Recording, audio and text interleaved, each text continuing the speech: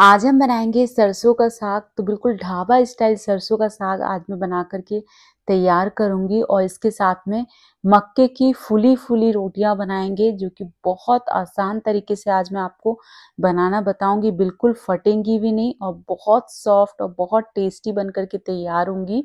तो चलिए दोस्तों, बना लेते हैं। इससे पहले hello everyone, Tripti home kitchen में आपका स्वागत है।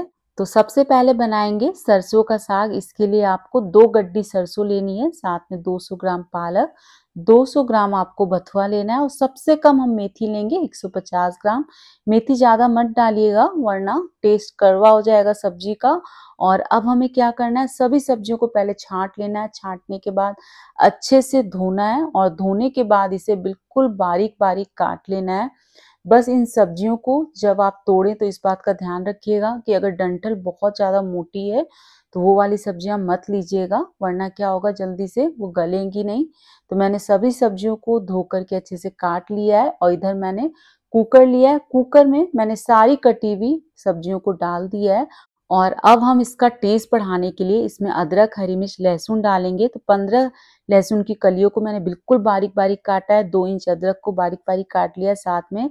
चार हरी मिर्च को बिल्कुल बारीक बारीक काट लिया है और अब हम इसमें से थोड़ी थोड़ी मात्रा इन सब्जियों के ऊपर डाल देंगे। आपको ये अदरक, हरी मिर्च, लहसुन की मात्रा ज़्यादा लग रही होगी, लेकिन इसमें जो पिसे मसाले होते हैं वो बहुत कम मात्रा में पड़ते हैं, इसलिए इसका टेस्ट बढ़ाने के लिए इसमें थोड़ी सी अदरक, हरी मिर्च, लहसुन की मात्रा ज़्यादा डलती है और अब मैं इसके अंदर स्वाद अनुसार नमक डाल रही हूँ। साथ में एक कप पानी डाल दिया है और अब हम कुकर का ढक्कन लगा करके हाई फ्लेम पर एक विसिल लगाएँगे। फिर एक विसिल जब आ जाएगी तो लो फ्लेम पर इसे पाँच मिनट के लिए पकाएँगे। तो अब इसको लो फ्लेम पर पकते हुए पाँच मिनट हो गए इसका प्रेशर भी निकल गया है। तो मैंने इसका ढक्कन खोल दिया है। ढक्कन खोल देने के बाद अब हम इसे अच्छे से मथना है। अगर आपके पास मथनी हो तो मथनी से भी आप इसे अच्छे से मथ सकते हैं।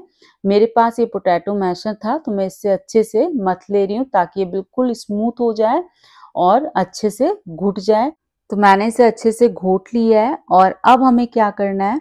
गैस को ऑन कर लेना है और इसके अंदर डालना है मक्के का आटा। तो मैंने इसके लिए आधा कप मक्के का आटा लिया है। मक्के का आटा डालने से सरसों के साग का टेस्ट बहुत अच्छा आता है। तो एक साथ नहीं डालेंगे एक एक चम्मच डालते जाएँगे और इसे अच्छे से घोटते जाएँगे। तो इसे हमें लगभग 15 मिनट के लिए पकाना है और और लो फ्लेम पर ही पकाएँगे। तो मैंने इसके अंदर पूरा मक्के का आटा डाल दिया है और मक्के के आटे डालते वक्त पकाते हुए इसे 10 से 15 मिनट हो गए हैं और ये साग अच्छे से पक गया है। इस समय आप चाहें तो इसे फ्रिज में हफ़्ते भर के लिए स्टोर करके रख सकते हैं। जब आपको खाना हो तो आप तड़का लगा करके खा सकते हैं। तो चलिए अब हम इसमें तड़का लगाएँगे। तो इसके लिए कढ़ाई में मैंने दो चम्मच घी डाल दिया है और घी जब गर्म हो गया है तो मैं इसके अंदर अदरक, हरी मिर्च, लहसुन डाल दे रही हूँ, जो कि हमने थोड़ा बचा करके रखा था। इसे अच्छे से फ्राई कर लेंगे। अदरक, हरी मिर्च, लहसुन इस समय अच्छे से फ्राई हो गया है। तो मैं इसके अंदर दो सूखी लाल मिर्च डाल रही हूँ। सूखी लाल मिर्च मैंने बाद में डाली है। अगर पहले डालते तो ये हल्की सी जल जाती और साथ में मैंने एक प्याज को बिल्कुल बारीक बारीक काट करके डाला है। प्याज को भी हमें बिल्कुल अच्छे से फ्राई कर लेना है। तो चलिए प्याज भी फ्राई हो गए तो इस समय मैं इसके अंदर टमाटर डाल रही हूँ। तो एक टमाटर को बिल्कुल बारीक बारीक काट करके डालना है। साथ में स्वाद अनुसार नमक डाला और एक छोटा चम्मच धनिया पाउडर डाला है। धनिया पाउडर बहुत ज़्यादा मत डालिएगा क्योंकि हम इसके अंदर बहुत ज़्यादा मसालों का यूज़ नहीं करने वाले हैं। सिर्फ़ मसालों में एक धनिया पाउडर ही डाला है और अब हम इसके अंदर गर्म पानी डालेंगे और इसे सॉफ्ट होने देंगे।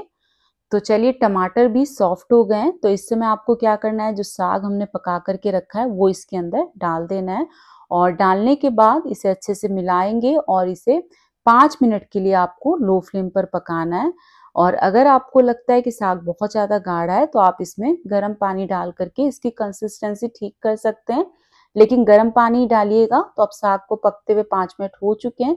साग बिल्कुल तैयार है, आप इसे अभी भी गरम गरम मक्के की रोटी के साथ या फिर कोई भी पराठे के साथ सर्व कर सकते हैं। लेकिन इसका टेस्ट बढ़ाने के लिए अभी हम इसके अंदर एक तड़का और डालेंगे। इसके लिए मैंने पैन लिया है पैन में मैं दो चम्मच घी डाल रही हूँ साथ में। अब हम इसके अंदर हींग डालेंगे। हींग से टेस्ट बहुत अच्छा आता है और मैं अब इसके अंदर हरी मिर्च डाल रही हूँ। तो दो हरी मिर्च को मैंने पतला पतला काट के डाला है। दो सूखी लाल मिर्च डाल दी है। थोड़ी सी अदरक को मैंने लंबा लंबा काट करके डाल दिया है। तड़का तैयार है और मैंने इसको साग के ऊपर डाल दिया है। तो हमारा बहुत टेस्टी सा ढाबा स्टाइल साग बन करके तैयार है। अब हम मक्के की रोटी बना लेते हैं। इसके लिए कढ़ाई में मैंने डेढ़ कप जितना पानी डाल दिया है और अब मैं इसके अंदर स्वाद अनुसार नमक डाल रही हूँ। साथ में एक चम्मच घी डाल दे रही हूँ और अब आपको क्या करना है, इसे अच्छे से मिक्स कर लेना है और इसमें उबाल आने देना है। तो पानी में उबाल आ गया है। तो अब इसके अंदर डालना है मक्के का आटा। तो ये मैं एक कप डाल रही हूँ। मक्के का आटा डालने के बाद आपको जल्दी से इसे मिक्स कर लेना है और मिक्स करने के बाद गैस को बंद कर दीजिए और गैस को बंद करने के बाद इसे ढक करके 15 मिनट के लिए छोड़ दीजिए ताकि आटा बिल्कुल सॉफ्ट हो जाए। तो अब मक्के के आटे को ढके हुए 15 मिनट हो गए तो इसे एक मिक्सिंग बोल में निकाल लेना है। और निकालने के बाद इसे टच करके देखिएगा, अगर बहुत ज़्यादा गर्म नहीं है तो हाथों से मसल लीजिएगा। लेकिन इसको हमें हल्के गर्म में ही अच्छे से मसलना है, लगभग तीन से चार मिनट के लिए अच्छे से मसल करके स्मूथ कर लेना है। तो मैंने इसे अच्छे से मसल लिया है और अब इसकी छोटी सी लोई लेकर के इसके ऊपर सूखा आटा लगाना है और फिर इसके बाद इसे डायरेक्ट बेलना नहीं है। एक बार हथेलियों से इसे हल्का सा फैला लेंगे, उसके बाद बेलेंगे। ऐसा करने से क्या होगा, इसमें क्रैक्स नहीं आएँगे और बेलने में बहुत आसानी रहेगी। तो मैंने इसे फैला लिया है और अब मैं इसे बेलन से हल्के हाथों से बेल दे रही हूँ। फिर भी आप देख सकते हैं कि किनारे में हल्का हल्का सा फटा हुआ दिख रहा है। तो कोई बात नहीं, इस तरीके से इसे काट लेंगे। तो मैं पिज़्ज़ा कटर से काट रही हूँ, आप चाहे तो कोई ढक्कन से भी इसे काट सकते हैं। और जो एक्स्ट्रा बचा हुआ आटा है, उसको वापस से डो में मिला देंगे। तो अब चलिए, अब इसे सेक लेते हैं। इसके लिए तवे को मैंने पहले से हल्का गर्म कर लिया था और इसके ऊपर रोटी को डाल करके बीच बीच में पलटते हुए इसे लो फ्लेम पर सेक लेंगे, ताकि ये अंदर से भी अच्छे से सीख जाए। तो आप देख सकते हैं, ये पूरी तरीके से फूल गई है। और मैंने इसे पलटते हुए अच्छे से पहले लो फ्लेम पर सेका है और अब मैं इसे डायरेक्ट गैस के ऊपर सेक रही हूँ।